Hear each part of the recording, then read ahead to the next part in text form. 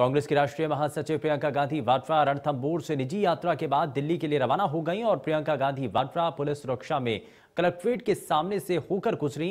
प्रियंका अपने तीन दिवसीय निजी दौरे के दौरान रणथम्बोर पहुँची थी और इस दौरान उन्होंने नेशनल पार्क का भ्रमण कर बाघों की स्वच्छंद अटखेलियाँ देखी, साथ ही उन्हें निहारा।